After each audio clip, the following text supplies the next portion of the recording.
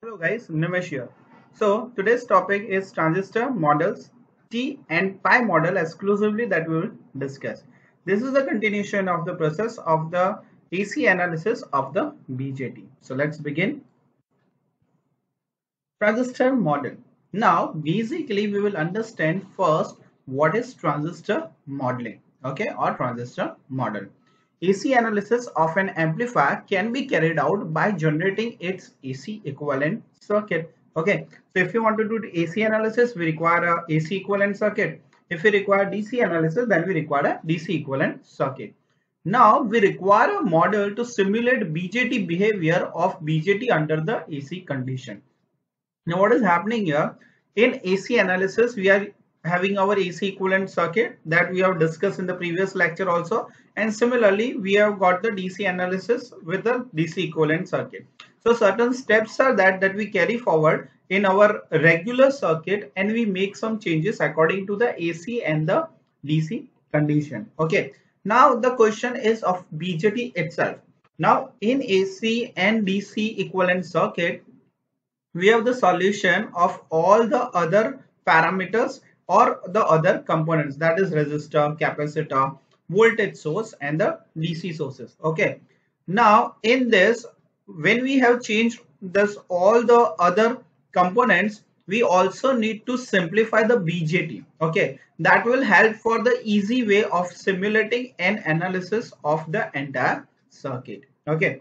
So for that basically we have got the two models that we are going to discuss is a T model okay. A T model and second is a pi model. These are the most useful models that are available with us and we will discuss it. Okay. So let's start with the T model. Now the T model is most oldest method model. Look it look like T so it is called as a T model. So it is worst of all it is the most oldest one. Okay. So this is one of primitive method or initially founded method.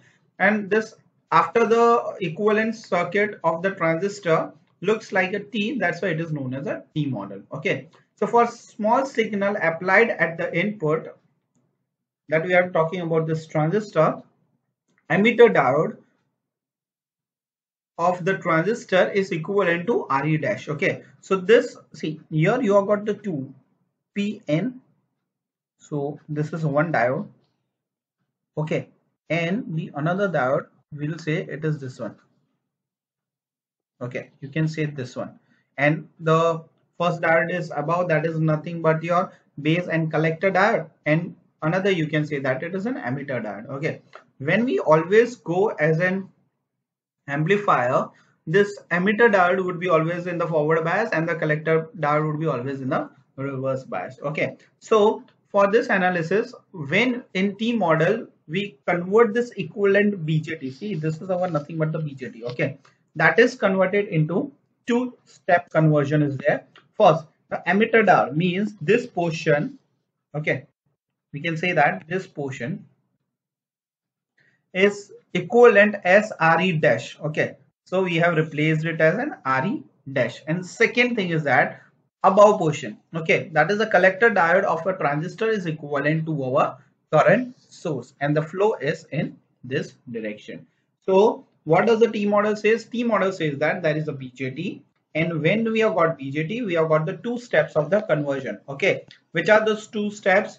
First, we are taking the emitter diode that is converted in equivalent RE dash. Okay, and the second is the above this PN junction or you can say as a collector diode is equivalent to the current source. Okay, so whenever we use a T model in AC analysis, the entire circuit that is our regular amplifying circuit would be converted into the AC equivalent circuit and the BJT or you can say the transistor would be replaced by this equivalent circuit. Okay, and then what we are supposed to do once we have got the entire equivalent AC circuit after that what we'll do first step replace the transistor by the T model. Second step, calculate the RE dash, calculate the parameters. Okay. So RE dash is the most important part. Why it is the most important part? Because this is the only unknown value present out here. Okay. and rest accordingly we will have our data.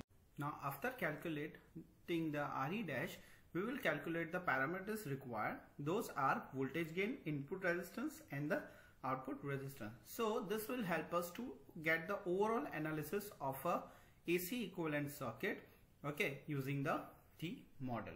Now the next model is and it is the simplest form of the model named as pi model okay again it looks like inverted pi that's why it is known as a pi model okay so both the models are named after its appearance so now the first point is comparatively it is easier to use than the T model. Okay. In pi model impedance measured at the base terminal is equal to B RE dash. Okay. So again the RE dash is there. Now the implementation is very easy. Here the only thing is that the pi model impedance measured the base terminal is equal to B RE dash. Okay. So what we are doing we are replacing this thing with B RE dash emitter is taken to the ground usualize and this collector collector diode is as the current source as the previously that we were taking in the T model so when we are given a transistor and supposed to utilize it in the pi model what we will do the base terminal okay is equivalent to or we will replace it with the help of the B RE dash resistor. Emitter is taken as an uh, terminal which is usually connected to the ground okay and the collector is replaced by the IC that is the current source and the flow is as shown in below okay now when we are getting the DC equivalent circuit okay so in DC equivalent circuit, it is just a revision. What we do usually, we can calculate the voltage and the current by the DC analysis. Okay. So there are the basically three steps for the same. First step is all capacitors are to be open circuited. Now that is because of XC is equal to 1 upon 2 pi F. So in DC S frequency is almost equivalent to 0 that's why what happens XC becomes infinity hence the reactance is maximum. Okay. So what will happen? This both capacitor will become open circuit and when it becomes open circuit it cut off entire circuit. So only part you are getting is this part. Okay? In DC equivalent. After doing so we can get the DC equivalent circuit that what I have shown you out. Okay? Now the value of RE dash is to be calculated. And this is the formula that we have already derived in the previous lecture. Okay, in the previous uh, video I already discussed this in the last part. Okay, again just a revision. DC equivalent circuit when we require. So we are getting an amplifier circuit. In that what we are supposed to do, we are first of all we are supposed to uh, open circuit all the capacitor. Now why it is getting open circuited because Xc is equal to 1 upon 2 pi F. Now F is almost equivalent to 0 so Xc almost tends to infinity and because of that all the capacitors become open circuit so it cut off the load resistance okay and the Vs from the circuit. So now we get only this part of our circuit and that is what we are getting here. So after we are getting here then what we are supposed to do? Then we are supposed to replace it okay and calculate the RE dash with the help of this given formula okay. Now we will go with the AC equivalent circuit. Now in AC equivalent circuit we know that AC equivalent circuit replace all the DC here also we have got the steps. First step is that replace all the DC source by short circuit okay why we are doing so because the DC source will not affect your AC okay so as they are not going to affect your AC, hence we can short circuit it. All capacitor would be replaced by the short circuit. Again, why we are short circuiting it? Because 1 upon again 2 pi f and we have got a good amount of value of f here. So we will be getting definite some finite value of xc. Okay. And as we are getting some finite value, it would be short circuited. Now, after replacing this entire AC equivalent circuit, now it is the turn of the transistor. Now transistor is rep replaced by the pi model. Here you can utilize the T model also, but here in our case we are using the pi model. After replacing, now we have got our circuit of an amplifier for analysis and which parameters we are going to analyze. First is the voltage gain, input resistance and output resistance. Okay so here it is shown there. See what you have done first capacitor is short circuited. Okay both the capacitor are short circuited. And this dc is taken as a short circuited. So what happens? This resistors come down. This both resistor comes down. Okay so and this transistor we know that the transistor is nothing but supposed uh, what we are supposed to do in pi model first. Base we are replacing by a resistor okay? And here we have got the current source out here and this is our collector. Emitter is grounded okay? And here our base was replaced by beta re dash okay? This we have already found out in the pi model. See this was the pi model that we are utilizing okay? And that same pi model we have replaced here okay? So how what we are supposed to carry our AC equivalent circuit or AC equivalent circuit for the analysis okay? So we have got the basically some steps. First the first step says that short circuit all the DC sources. So first short circuited then all capacitor are also to be short circuited. So basically we are short circuiting two things DC source and all the capacitor. Okay. Now after doing that we are getting the AC equivalent circuit. But still now one more thing is to be replaced. What is that? The transistor. And that transistor is to be replaced with the different models. Okay. So our chosen model at this point is pi model. What is the pi equivalent? Base is replaced by b re dash resistor. Okay. And collector terminal is replaced by the current source and emitter is usually taken as ground as I've told. So we are taking as a ground. Okay. After that whatever the parameters we need to calculate we can calculate. So now we will perform AC analysis of common emitter circuit. Okay. So again the step we have discussed above will be repeating all of them. Okay. Now we know that first step consider the VDB amplifier in the common emitter amplifier. So this is the given amplifier circuit to us. Okay, we'll go with the diagram wise also. Now just we are following the first generalized step. So once we have got any type of the amplifier, replace all the DC source by the short circuit. We remember that, just should remember that two things to be short circuit and one thing to be replaced that is a pi model. This is entire AC equivalent. So first short circuit that would be DC source second short circuit that we are supposed to perform is the capacitor okay so this both is to be short circuited and replace the transistor by the pi model and calculate the given parameters. Okay now this we will perform one by one. So this is the given circuit to us. Okay so this is given to us. Now this is the AC equivalent circuit. Okay now in AC equivalent circuit what we have done? We have just short circuited this both two things two capacitor and this is short circuited so what happens? This R1 is coming down. Okay. And this RC is also coming down and this CE is also short circuited. So now just one thing you should take consider that is what happens? Here when you are short circuiting the CE at that point the current will now choose this path instead of this. Okay. So this path is actually more resistive in nature compared to this short circuited path. And we know that current always choose the less resistance path. Hence this becomes a straight path. So this RE is removed. Okay. So now let's revert back to the steps. Okay. So what were the steps? First short circuit the resistor uh, capacitors. Okay. We are short circuited all the capacitor. Then short circuit the DC supply. Okay. Now what is happening? This R1 will come down here so R2 is parallel to R1 similarly RC also come down.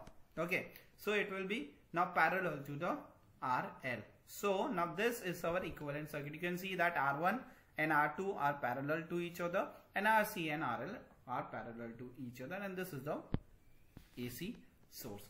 Now after AC equivalent circuit we are supposed to replace the transistor. So as it is a pi model the base would be replaced by the beta re dash. Okay then it is emitter is grounded and then it is a current source. So see in this portion this portion okay you can say this portion. This portion is replaced by the pi model. Okay this is our basic pi model. Okay so once we have got this entire circuit. Once we have got this entire circuit now we are supposed to perform the parameter calculation okay? So let's start. First we will calculate the voltage gain okay? Now what is gain? We already discussed in the previous session that gain is nothing but output by input okay? So whatever the input you are giving if you are getting comparatively more output then the gain is in increasing mode if you are getting less then the gain is in the decreasing mode.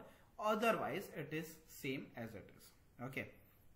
So now for the figure that we have taken in that the what is the output? Okay so you can literally see that it is nothing but ib into beta re dash. Okay so this is what will get the input. This ib okay.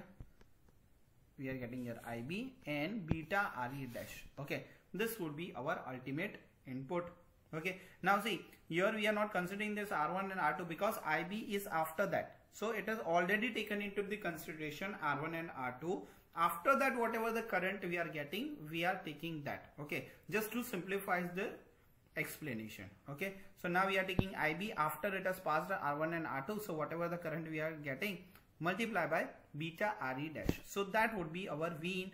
What is the v out vo is nothing or v out is nothing but minus ic rc parallel rl now why we are seeing that minus? Because see the flow is in downward direction.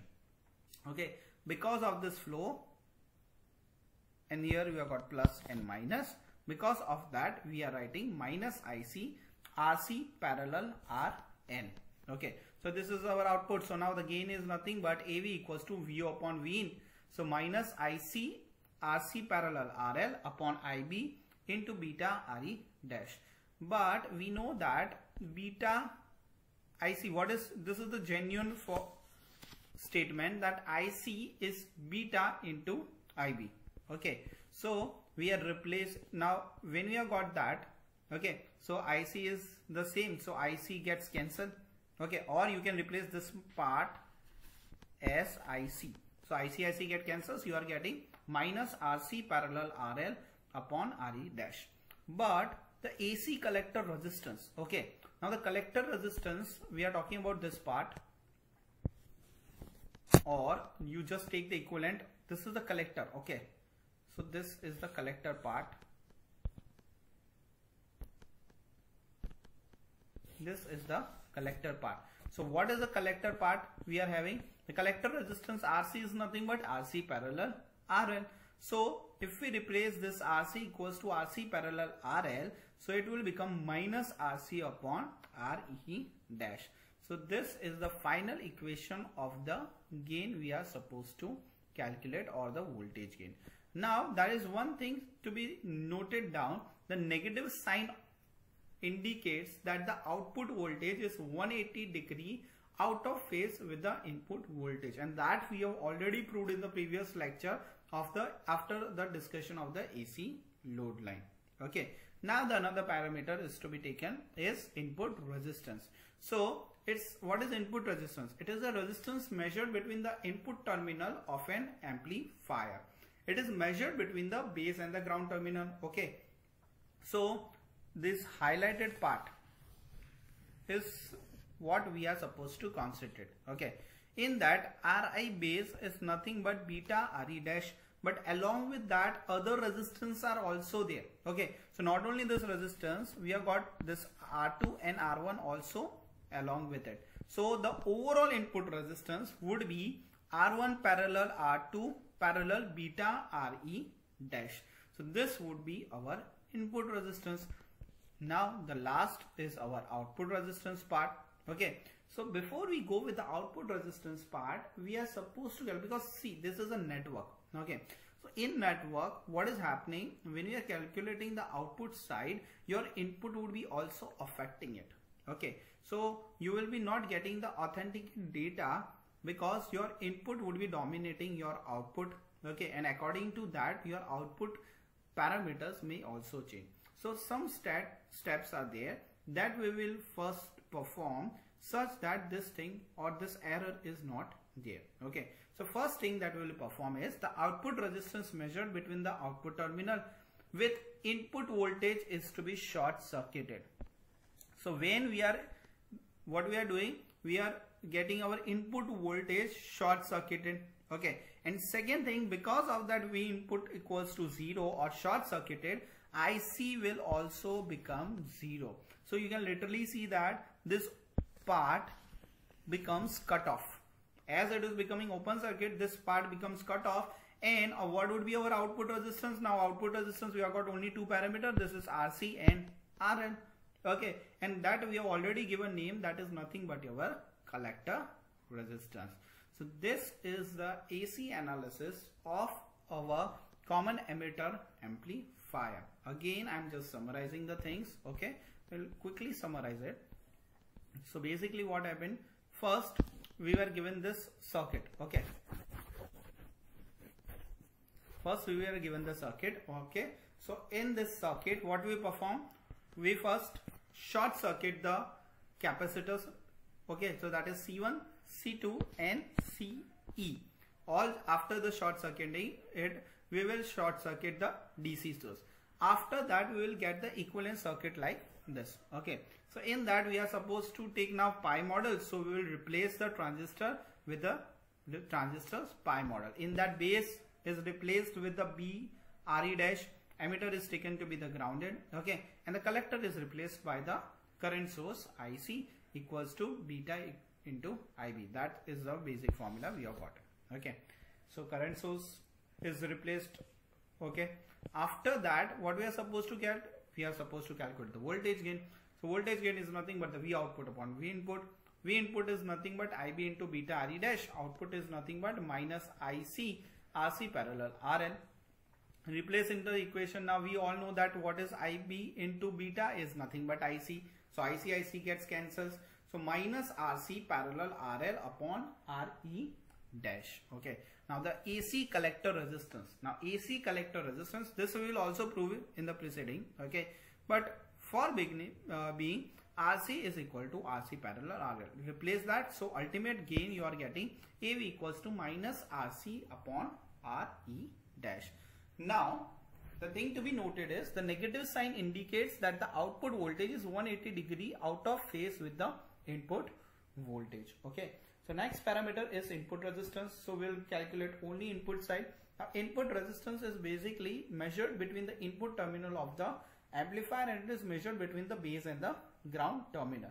So literally we can see that R1 R2 and R uh, R3 usually it is nothing but B beta RE dash. Okay. So all of them are parallel. So what would be our input resistance? R1 parallel R2 parallel beta RE dash now the last output resistance. Now when we calculate the output resistance the input can also dominate it or, or affect it. So such thing doesn't happen. So what we are doing? We are short circuiting the input. Okay so V in would be 0 now.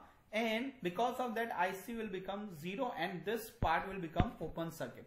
Now as it is becoming open circuit the output part is getting cut off so when output part is getting cut off, we are getting RC parallel RL and it is also known as RC that is RC is nothing but collector resistance.